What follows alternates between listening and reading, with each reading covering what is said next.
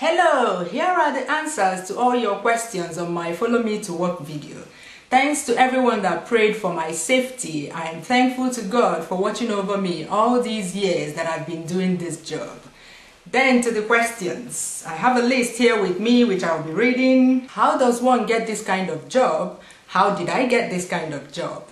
You get this kind of job by applying on the company's websites. I'll put the links to all the oil exploration companies that I know of in the description box below. Click show more under this video to see that. If you're in Nigeria, look for adverts in Tuesday Guardian. You will not see the names of these companies in these adverts, but look for such words like oil field services, oil industry, upstream petroleum, downstream petroleum. If you apply and you don't get a response, wait for six months and apply again. The oil industry is a seasonal industry and uh, maybe they don't need people when you apply, but six months later they will need someone. For me, I got the job during my NYSC in Nigeria. Those from Nigeria know what I'm talking about. I was serving in River State and the Schlumberger recruiter came to our orientation camp to tell us about their company and the career opportunities that exist. They needed people with engineering degrees, any course with engineering in it, yeah, and um, physical sciences degrees, that's uh, physics, geophysics, geology, industrial chemistry. At the end of the talk, I submitted my CV with many others and we were invited for a written test, which I went for. Towards the end of my service year, one year later, I was invited for an interview.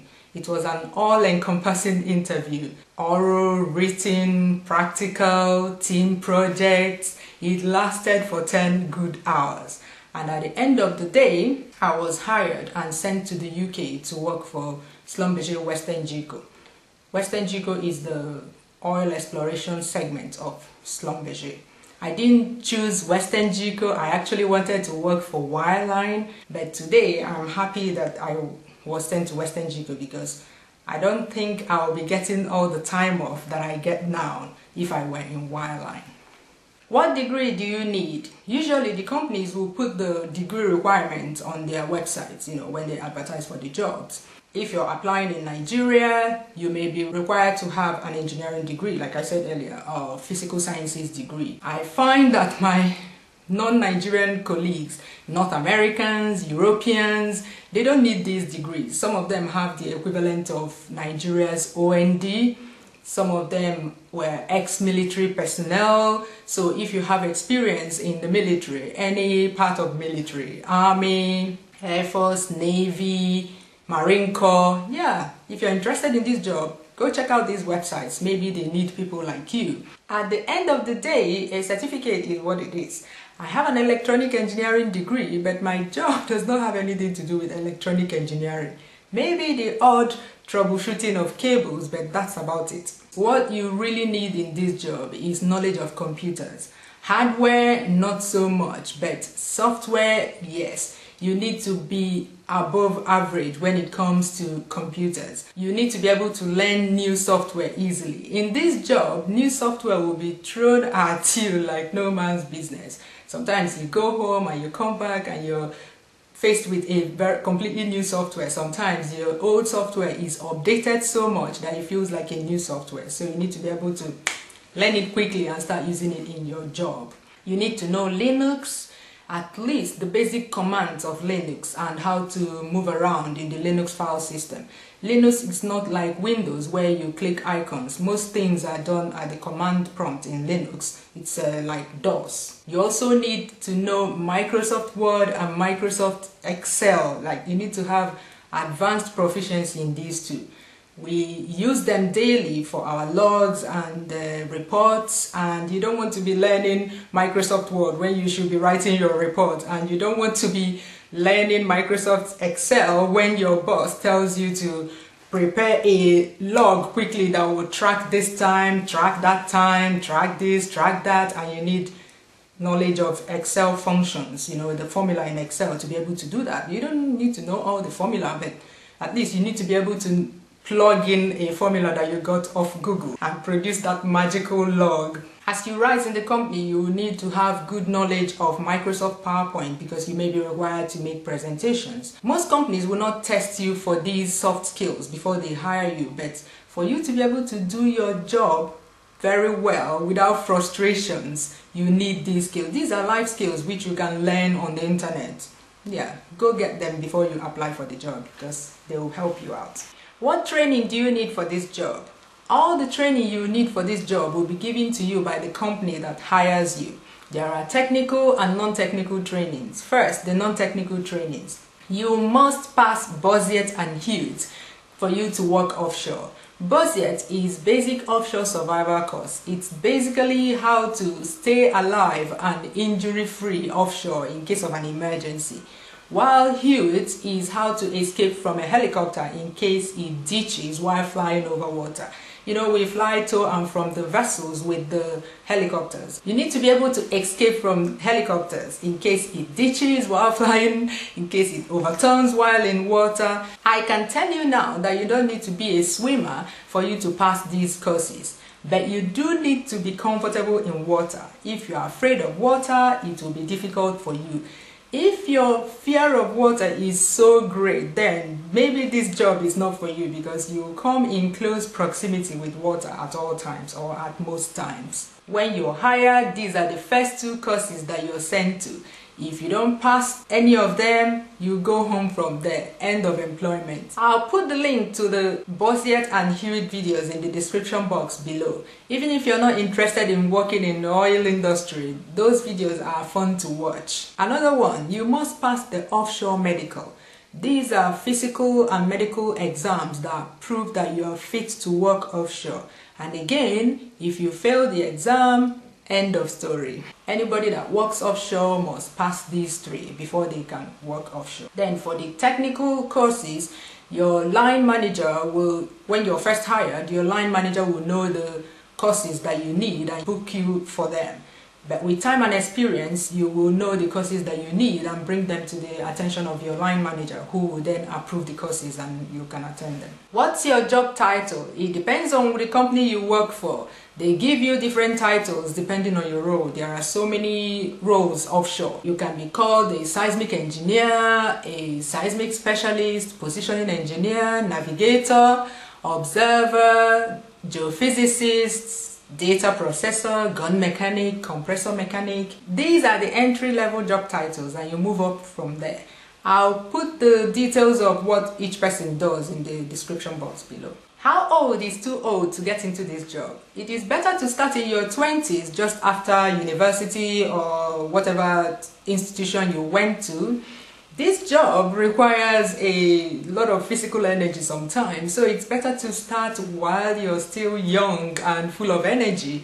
You will also be probably still single at that time, so you can travel to anywhere without missing anybody or without anybody missing you. In your 30s, it's still okay, but in your 40s, you should be thinking about leaving this job, not going into it. Are you the only woman in the crew? Does that bother you?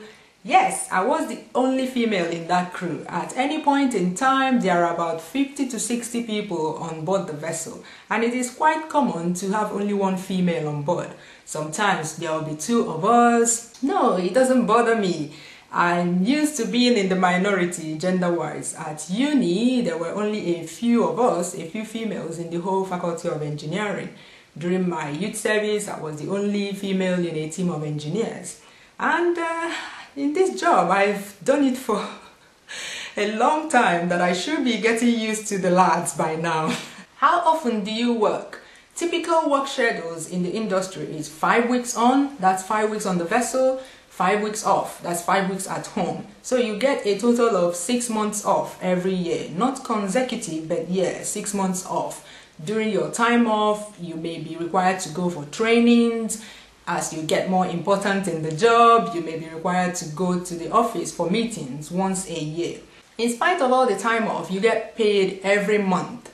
This is because offshore we work 12 hours a day, 7 days a week, that's already 84 hours, more than double the 40 hour week that you get for people that work in offices. These days I work as a freelancer. That means I work when I want, for which company I want, and where I want. The way it works is my agent gets job requests from companies and they contact me. If it's a job I want, I'll say yes and they arrange my flights.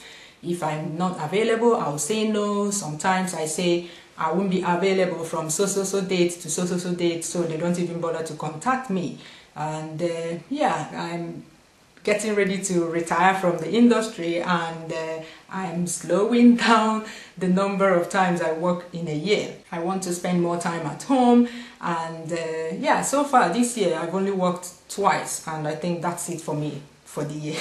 But if you work directly with a company, you must keep to the 5 on 5 off schedule unless you have a real emergency, family emergency, of course. Seasickness. This wasn't really a question, but a good number of people expressed concerns about being seasick while offshore.